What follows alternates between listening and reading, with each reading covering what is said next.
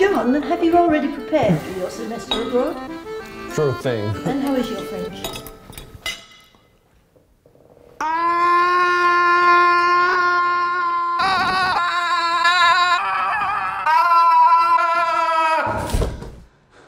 French, quick! Alors, on va commencer par au restaurant. Oui, grand-mère, je suis très bien préparé pour mon semestre à l'étranger. Good job. John,